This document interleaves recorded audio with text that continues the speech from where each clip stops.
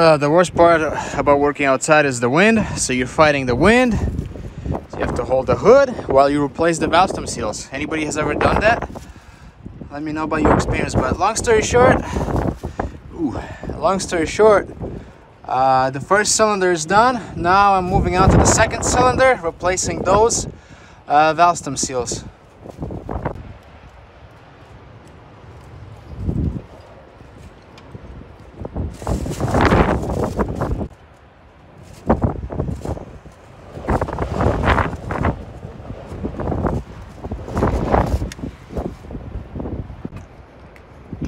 All right, I just have a couple more valve stem seals. Um, this is the cylinder. This is the uh, um, what cylinder? Okay, so uh, the firing order is one, two. Uh, then it goes four, five, three. So right now I'm working on the fifth cylinder.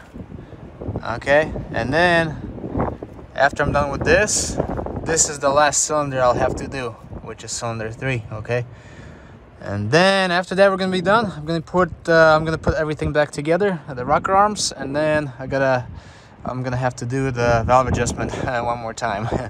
so yeah, you remember uh, when I first got this car, I did the valve adjustment, but I never decided to do the valve stem seals up until uh, recently. So good stuff.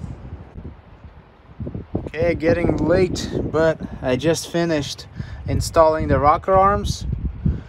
Uh, once again, I'm sorry, it's flickering, flickering because of my uh, headlamp for some reason. Uh, the phone doesn't like it. But uh, long story short, right now everything is back together. I'm just gonna have to come back probably tomorrow and just finish it with a valve adjustment. Then I'm gonna install the air cleaner and everything. So good stuff guys. Um, really excited. Uh, it was a little bit of a pain to install this section of rock arms okay because uh, it's actually three sets in one instead of uh, two. Uh, so but it's okay. Uh, I just had to turn the engine a little bit and then just line it up uh, one by one so it wasn't a big deal. Yeah other than that I'm really excited. I'll show you the old um, by the way this is the VB kit that I was using and uh, if you're wondering um, actually they're actually green and black um, stem seals. So black valve stem seals are for your intake valves and yes you heard me right. Black valve stem seals are for your exhaust I'm sorry for your intake valves and the green valve stem seals are for your intake valves. All right so keep that in mind a lot of people mix that up and they're actually two different sizes. So if you look at them one by one you will see that they're different sizes. So anyways uh, what I also did is cleaned everything up right here uh, nicely from any debris or anything like that. So I'm really excited. And yeah uh, this is gonna be awesome. Um, and I'm just really happy because the valve stem seals usually go bad you know especially after 35 years. So good stuff. I'm really happy guys. And uh, anyways um, that's it for tonight. I'll talk to you later. Take care. All right valve adjustment is done. Everything is torqued uh, properly and all that stuff. I'm about to start putting everything back together uh, installing new valve cover gasket and air cleaner all that stuff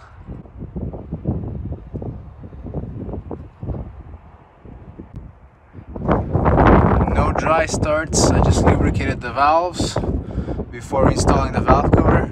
Uh, so we're gonna have no dry starts.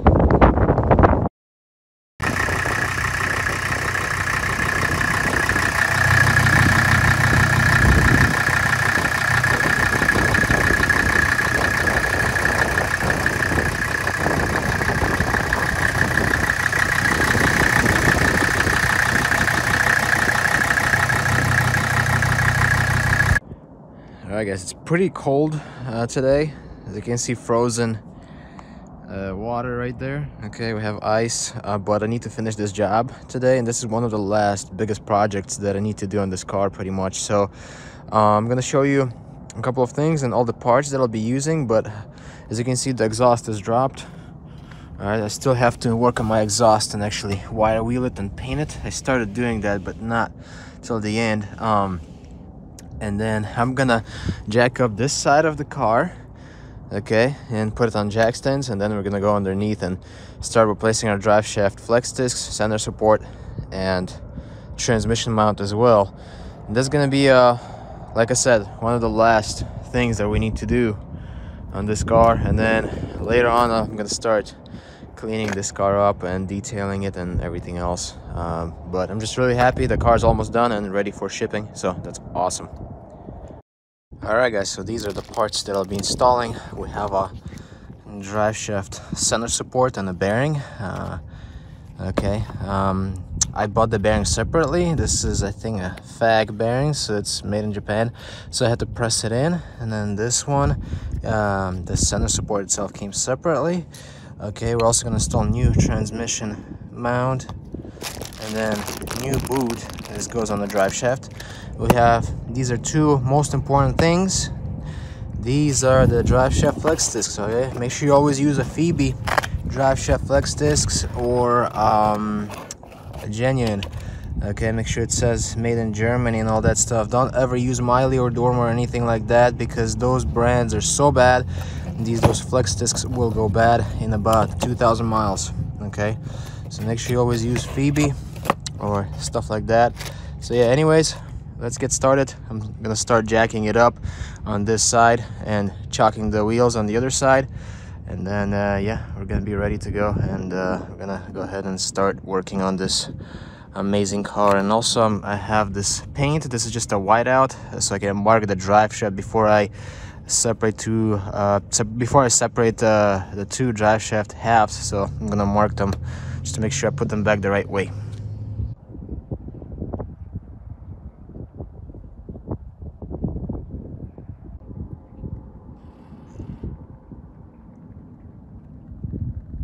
all right guys let's look at these flex discs. As you can see right there there's a lot of cracks showing on it. Transmission mount is shot as well. So we'll be replacing this. I'm gonna drop this cross member and stuff like that. And then going up here this boot is cracked. And I mean the center support is probably not too bad just yet but that other drive shaft flex disc is also bad. All right, guys, it's a super tight fit, but as you can see right here, I removed the old flex disc sitting right there, okay? And now I just have to, uh, first thing that I did is I loosened this nut, obviously before I even started prying on this or anything like that, but uh, right now I'm gonna be removing the center support and then and this flex disc is also no good. Okay it's got cracks. It's got cracks going on and stuff like that. And as you can see I removed all the bolts already. And my transmission is in neutral. So I'm gonna pry it out remove the center support bolts and the whole drive shaft is just gonna come out. And I'm gonna slide it out this way. Okay guys the drive shaft is out. Flex discs are both out. And there's the drive shaft I prefer to pull it as one piece and then I usually separate it uh, when it, once it's out of the car. Make sure once you when you're pulling this out don't let the drive shaft pieces to separate. It's really important. Okay let's compare. These are the original ones from 1985 okay? They have this Jurid name right here and SGF and they also have um, a Mercedes star. Okay right there. But as you can see they're they're pretty tired and cracked up. Okay so I'm really happy that I'm replacing them. They're both the same flex discs okay? Mercedes-Benz. Now good part we have new hardware and we're installing OEM flex discs okay SGF, uh, made in Germany. Okay, legit stuff. This is what we're replacing these ones with. Okay.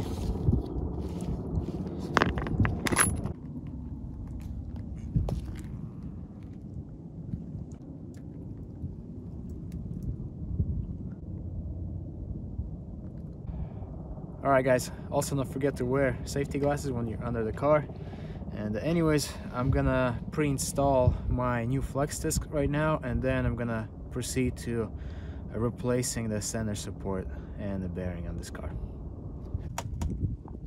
All right guys i just pre-installed this uh, brand new flex disc right here.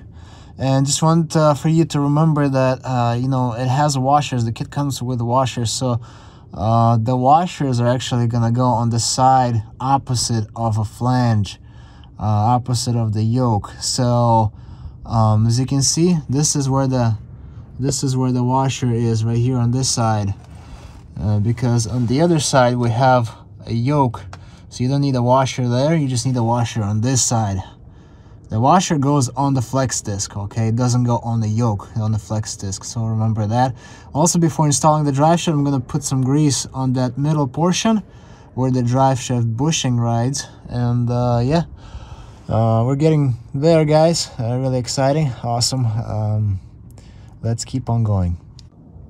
All right, guys, same thing with the differential side. We have a new uh, flex disc installed, three bolts and three nuts and three washers okay the rest of them will be installed once the drive shaft is in place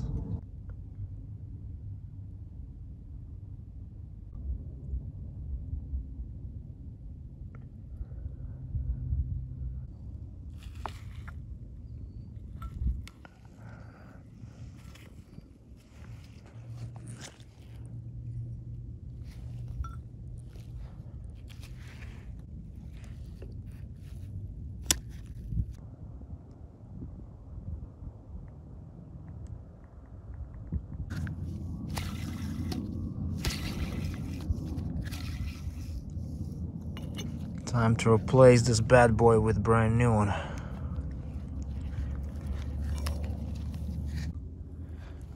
Okay, this thing is out. So it looks. I literally just used like a chisel and chiseled this thing out. This thing has seen better days. Okay, there's a cup right here too. So now I'm gonna clean all this up this area right here and I'll be ready to install a new bearing. The way I'm gonna install it it's pretty simple. It actually goes this way. And then I'm gonna use a small punch and just carefully go all the way around this inner race and just install it. But don't forget that you have to install this cup first. In my case I'll be cleaning this so it's pretty simple. Not a big deal. Easy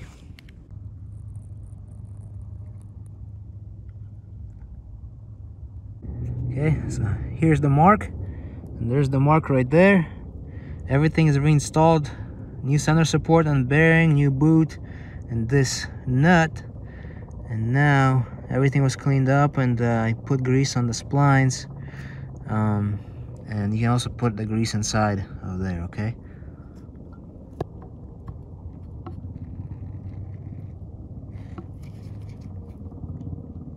Exactly how it was Okay, mark and mark. We're also gonna add grease to these bushings. Right over there, on both sides. And then after that, that's it.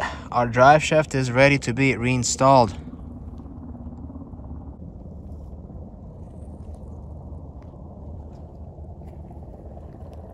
Alright guys, I just finished installing the drive shaft back. Everything is reinstalled drive shaft, both flex discs, center support, and uh, also transmission mount and cross member and all that stuff. Also, uh, start fluid filming under there where the transmission tunnel is and everything. So you will see some fluid film over there for preservation and all that stuff. So just want to show you really quick the final product. Let's go underneath and check it out. All right, guys.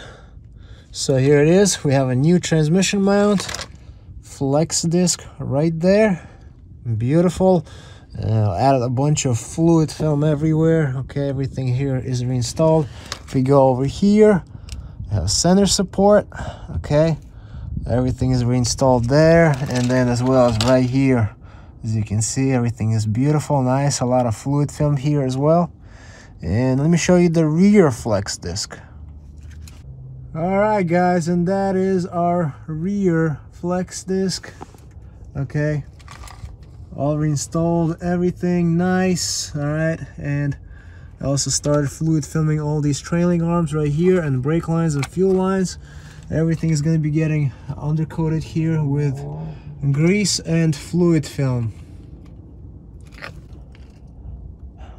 One more thing before I wrap this job up is I want to um, put some automatic transmission fluid on this mechanism so this mechanism stays lubricated nicely. And now this exhaust, I'll finish it up tomorrow. I have to finish uh, wire wheeling it and cleaning it, sanding it, and then I'm gonna paint it and then I'll, I'll reinstall it. As of right now, I need to start cleaning up. I have a lot of tools out, so it's time to clean everything up here.